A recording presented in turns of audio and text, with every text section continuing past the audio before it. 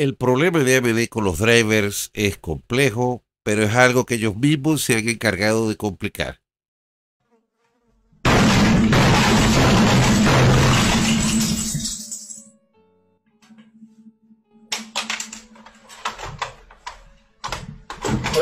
En este video te voy a dar la solución al problema de las RX 580 y quizás otros productos de AMD y poder jugar Call of Duty Black Ops 6. Por favor, mire el video completo. No te adelantes, porque voy a estar explicando cosas que son importantes. Primero, haremos un pequeño resumen de la problemática para aquellos que están llegando nuevos al canal y no han visto los videos anteriores. Las RX 580 son unas gráficas muy populares y que medio mundo tiene, sobre todo en Latinoamérica. Esto es debido a su bajo coste y que se puede jugar casi a cualquier cosa de manera decente.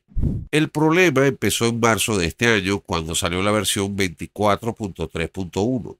Luego de esa no salieron más actualizaciones hasta octubre cuando salió la versión 24.9.1, saltándose 6 actualizaciones de por medio. Como puedes ver aquí en el historial de mi 6600 XT que sí ha recibido todas las actualizaciones.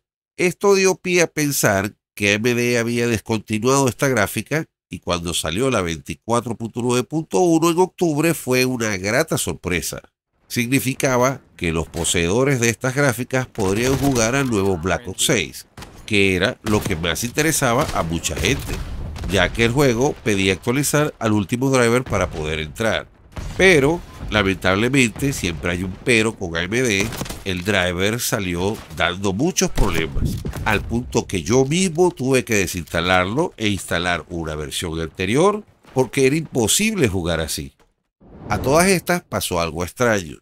En julio salió la versión 24.7.1 y ese driver estuvo disponible también para las 580. Hubo gente que pudo actualizar.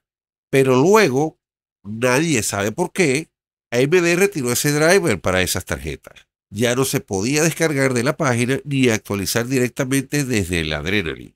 Y es ese driver el que les traigo en este video, el driver perdido de AMD, el cual encontré después de una exhaustiva búsqueda, la descarga original desde la página oficial de AMD. Como podemos ver en la descripción del artículo nos dice Polaris Vega, si bajamos un poco, nos encontramos con la tabla de compatibilidad donde aparece, entre otras, la serie 500, confirmando que este fue el driver que luego retiraron.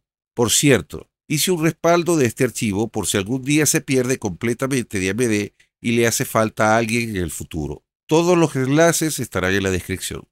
Ahora bien, este driver, al ser también para gráficas Vega, debería ser compatible con todos los APU y procesadores con gráficas integradas de la serie 5000 para abajo. Pero no tengo manera de probarlo. Así que si tienes un APU 5600G, 5700G o más antiguo, un 2400G, puedes probar este driver y dejarme en los comentarios cómo te va con él. Como siempre les digo, sus comentarios son lo más importante de este canal permiten recabar información y ayudar a otros con problemas similares. Para instalar este driver recomiendo usar el método que les va a salir por acá arriba y que dejaré también anclado en la descripción y al final del video. Yo no tengo cómo probarlo, pero mi amigo Kraken tiene una 580, así que nos pusimos manos a la obra por Discord.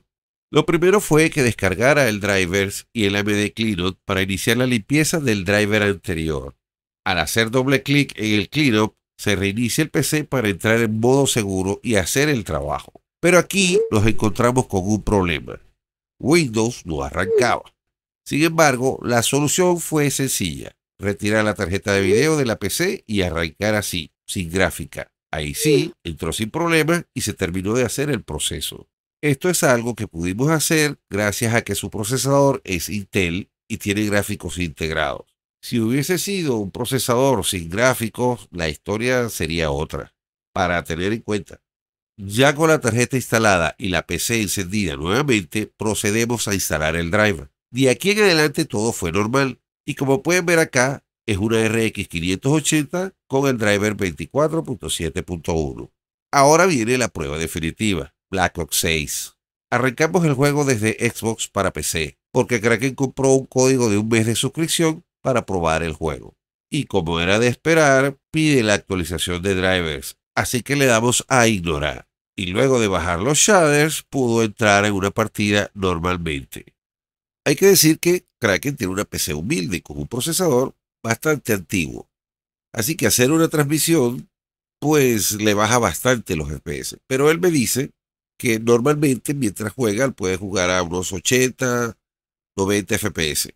Claro, en este caso pues lo vemos a 50, vemos que baja, que sube y a veces se traba. Pero si no estuviera transmitiendo, estuviera jugando en mejores condiciones.